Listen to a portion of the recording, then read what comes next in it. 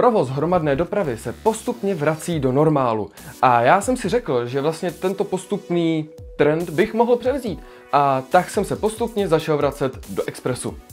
Takže začínáme!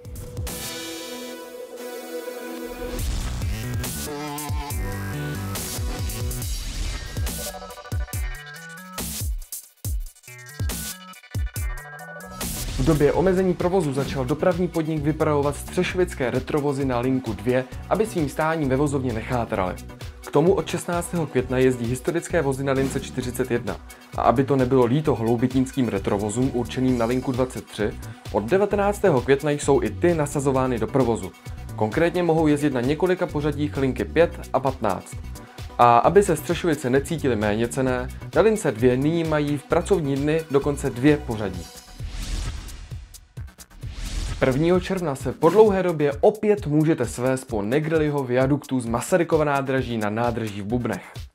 Osobní a spěšné vlaky do Kraluk nad Vltavou tak už nebudou jezdit přes nádraží v Holešovicích, ale obslouží zastávku Holešovice zastávka.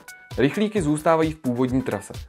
Od Kladna a Rakovníka budou všechny vlaky ukončeny na Masarykově nádraží, kromě tří spojů v nočních hodinách, které budou začínat či končit na hlavním nádraží. Zároveň se zhorší přestup mezi MHD a vlaky. Protože se do provozu vrací nádraží Praha Bubny a zastávka Bubny Vltavská tak končí. Tomu tam půjde přestoupit pouze na osobní vlaky, protože spěšňáky a rychlíky budou Bubny jen projíždět. Obnovováním provozu postupně začíná i dopravce KŽC.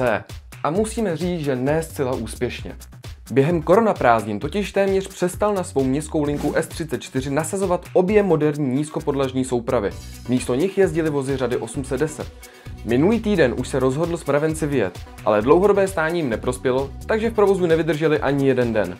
Jelikož byla k dispozici jen jedna záloha, druhou stáhli z linky S24 do Mochova a za celé tři dny nebyli schopni další zálohu přivést nebo zapůjčit, takže do Mochova jezdili tři dny náhradní autobusy pátek dokonce jeden mravenec vyjel, ale pro jistotu na spojích, kde není garance nízkopodlažnosti, takže ta stále nebyla dodržena. No a sobotní rozbitý kokořínský rychlík, který zasekl trať do Neratovic na více než hodinu, raději nebudeme rozebírat. Od pondělí se otevřely hospody a kluby a tak se se vzrůstajícím nočním životem obnovuje provoz autobusových linek až do půlnoci, jak tomu bylo dříve, tedy až na dopravní podnik. Tedy poměrně významné autobusy jako 124, 150, 176, 199 nebo 200 a také tramvaje 2 a 15 budou stále ukončené ve 22 hodin a 30 minut. Důvodem je, že dopravní podnik zatím změny jízdního řádu neodsouhlasil a z magistrátu se proslýchá, že zatím stojí snaha šetřit peníze na nová vozidla právě skrze dlouhodobé omezování provozu. Dopravní podnik 14. května uvedl do zkušebního provozu opravárenskou halu vedle odstavních kolejí v hostivařských ústředních dílnách. Hala bude sloužit pro těžkou i běžnou údržbu vozu a má pomoci zvládat tyto úkony místo zbourané vozovny v Loubětíně. Nutno dodat, že v Brně otevřeli také novou halu a je teda výrazně hezčí.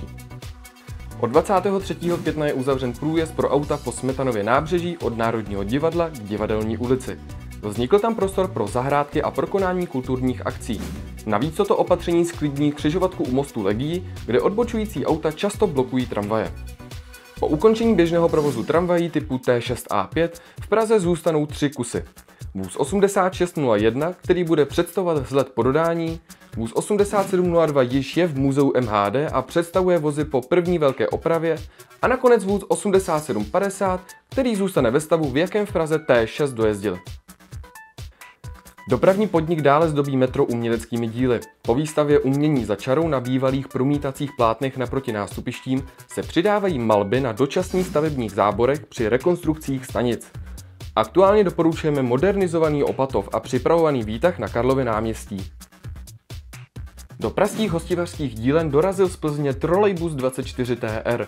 Vůz prodělá opravy a obdrží červeno-bílý lak. Praze bude sloužit k udržení licence na trolejbusy, zacvičení řidičů a personálu dílen. 1.6. částečně končí výluka trati na Barandov, kdy se stejně jako loni vrací mezi Hlubočepy a Barandov ostrovní provoz. Úsek Hlubočepy Smíchovské nádraží zůstává vyloučen, podle plánu až do konce října. Do 4.6. je stále vyloučen provoz v úseku od vozovny Strašnice na křižovatku s Černokosteleckou a Vinohradskou. Na ní naváže výluka ve zbytku ulice a opravovat by se měla i kolejová harfa ve vozovně Strašnice. A to je z tohoto expresu všechno. Já vám moc děkuji, že jste koukali a nezapomeňte, že za 14 dní ve čtvrtek opět ve 14 hodin přijede další expres plný novinek. No a mezi tím nás můžete sledovat třeba na Instagramu nebo dalších sociálních sítích. Jsme úplně všude. Takže čus bus Metrobus.